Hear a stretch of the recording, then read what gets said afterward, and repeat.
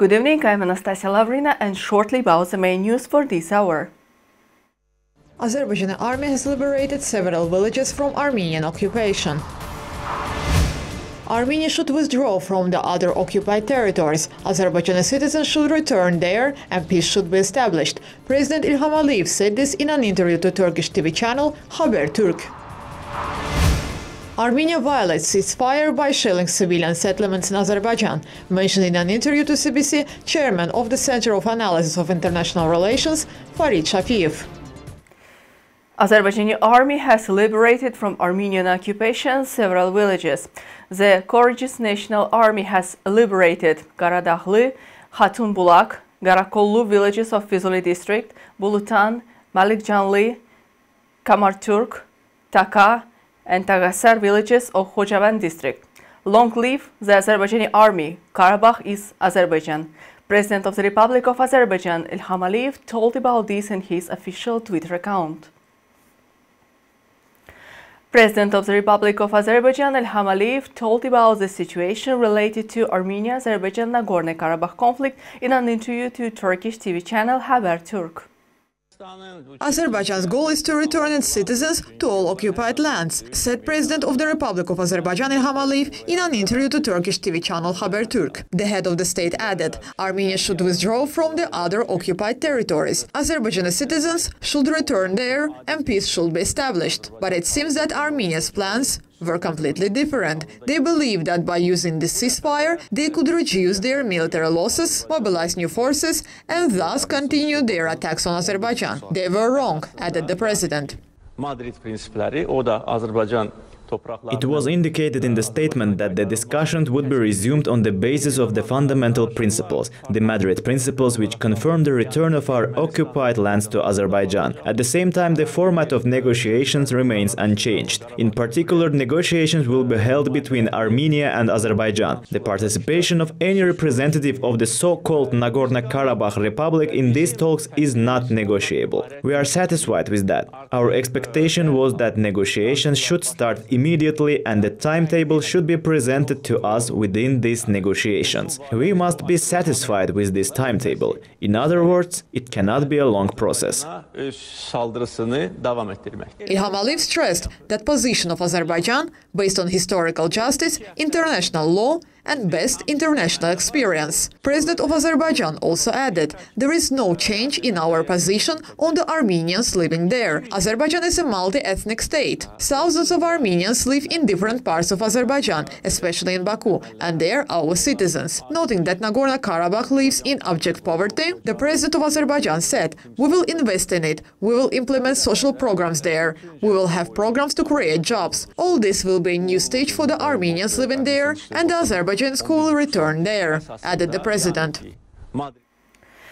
President of the Republic of Azerbaijan Ilham Aliyev was interviewed by France 24 TV channel. The situation in the Armenia-Azerbaijan Nagorno-Karabakh conflict zone was discussed during the interview.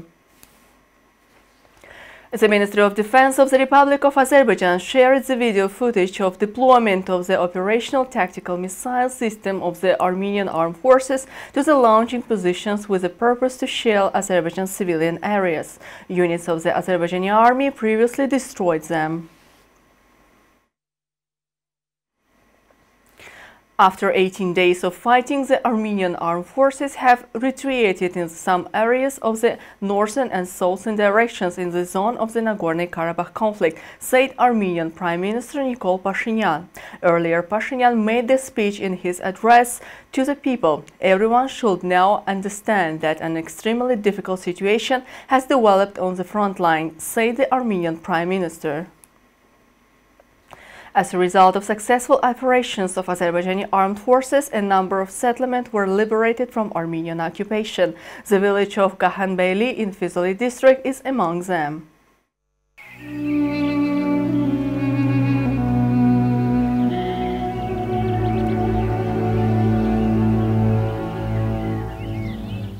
Now for 27 years, Timur Aliyev has not been able to return to his native village. Due to the occupation policy of Armenia, his family was forced to relocate to Balabahmanli. Here he is also engaged in farming. His lifestyle remained the same, but the longing for his homeland still remains.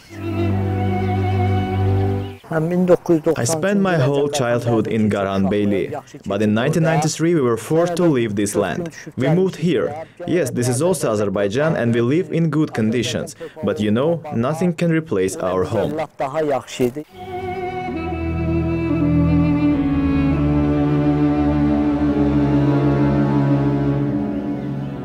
Get along, I brew samovar tea for you, and around the table we will continue our conversation. We do not need foreign territories, we need our native Karabakh.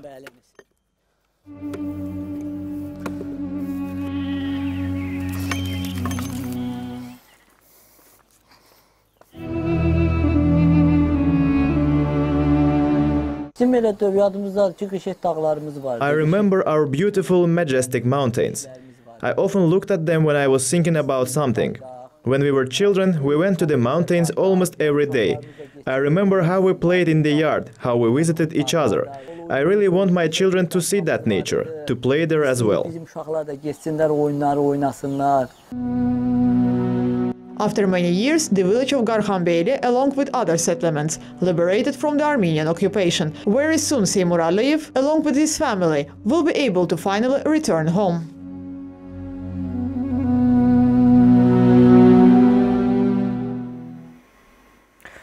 The shelling of Ganja by Armenia is a war crime. By their actions, the Armenians once again showed their true essence. Bartolomeu Sotnikov, the senior priest of the Alexander Nevsky Church in Ganja, told this to reporters today, commenting the shelling of Azerbaijani cities by the Armenian armed forces. I am Russian, but I was born and raised in Azerbaijan. Ganja is my hometown, and what Armenians are committing now is a war crime. The senior priest of the Alexander Nevsky Church in Ganja, Bartolomeu Sotnikov, told this to journalists commenting shelling of Ganja by Armenian armed forces on October 11th. Армения в первую очередь являются это агрессией. Uh, Armenians are, first of all, our aggressors. The civilian population is not guilty of anything, and Armenia intended to provoke Azerbaijan so that we would give a response. Shelling by Armenia affected not only civilians, but also religious buildings, including our temple. The Orthodox Alexander Nevsky Church in Ganja has a half-century-old history. Now the walls of the temple, the dome and windows are damaged. This shows once again that there is nothing sacred for Armenian nationalists. The fragments hit right through our church. The windows are broken, everything is broken. Let these Armenians get what they deserve. Today, a memorial service was held for civilians who died as a result of the terror attack committed by the Armenian army. They prayed for the soonest victory of the armed forces of Azerbaijan.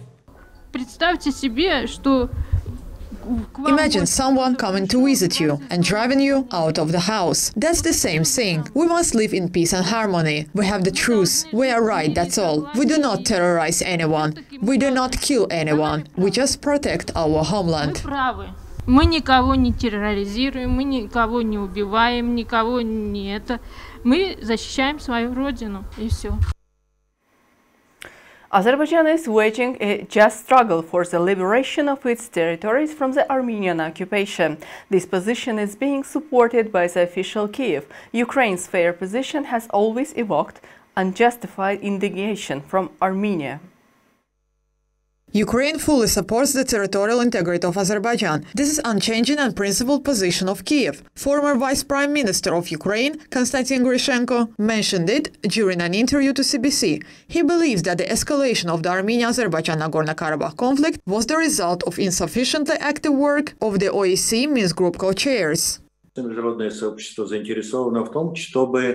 The international community is interested in the peaceful resolution of the conflict, but for it, it's necessary for the co-chairs to influence the situation and use all their possibilities not to be limited to simply calling for a ceasefire. They must practically deal with the issue to restore the territorial integrity of Azerbaijan and return the territories that have been occupied for many decades. Ukraine's fair position towards Armenia-Azerbaijan Nagorno-Karabakh conflict has always caused unjustified indignation of the occupying country. This year in July, after another statement of Kiev regarding its support for Baku, disgruntled Armenians poured borscht over the Ukrainian embassy in Yerevan. Speaking about the counter-offensive operation of the Azerbaijan armed forces, the former Ukrainian vice prime minister stressed the right to self-defense is highlighted in the UN Charter. It was in response to the regular military provocations from Armenia that the Azerbaijan army launched a counterattack. Yerevan is being defeated on the battlefield, subject the city with civilians to rocket and artillery fire. Such a thing is unacceptable, said Konstantin Grishchenko. Я I'm confident that the international community will respond to the violation of the ceasefire, if only because the use of force against civilians in itself is a direct violation of international humanitarian law. In this regard, I am confident that, if not immediately, but very soon we will hear quite clear statements from many international structures. According to the Konstantin Grishchenko, the observance of the ceasefire for humanitarian purposes could be a serious step toward a peaceful settlement of the conflict. There is only one fair decision unconditional liberation of all territories of Azerbaijan occupied by Armenia, stressed Konstantin Grishchenko.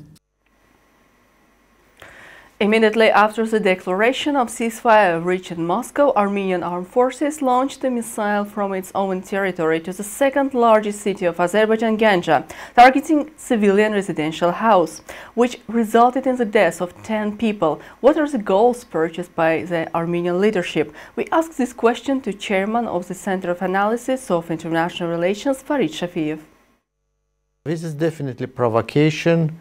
Uh, provocation has um, I think the implication to draw uh, third parties to the conflict because it was launched from the Armenian territory and probably the Armenian side wants uh, to provoke Azerbaijan for response, which actually happened today because Azerbaijan armed forces today uh, targeted uh, the, the, the, the, military infrastructure on Armenian territory, uh, the missile launcher, and destroyed it.